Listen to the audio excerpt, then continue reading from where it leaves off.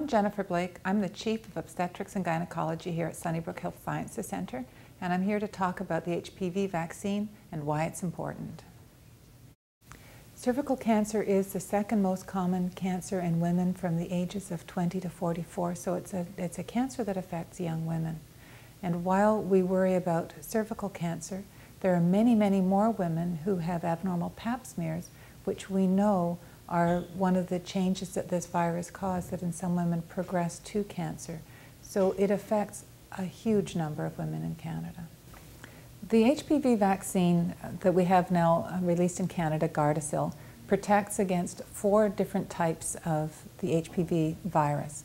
The 6 and 11 virus, which account for 90% of genital warts, and the 16 and 18 types, which account for 70% of cervical cancer prior to being released, this vaccine has been extensively studied. There are uh, well over 20,000 uh, women who have participated in randomized controlled trials, and there was a delay of at least five years to ensure that the vaccine was working as it was supposed to and it was safe.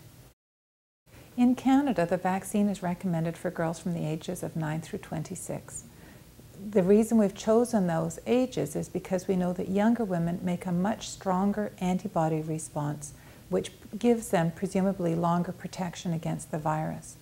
The reason that we are stopping at 26 is because most of the research has focused on women in that age range, but studies are ongoing now to see if this vaccine will also benefit older women. The HPV vaccine is certainly going to help us reduce the number of abnormal pap smears that we find in Canada and will reduce the number of cancers, but we aren't all the way to preventing cervical cancer yet.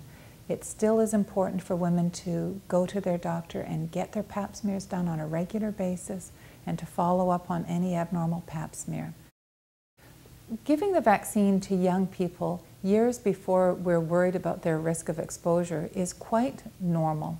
We give the hepatitis vaccine in grade 8.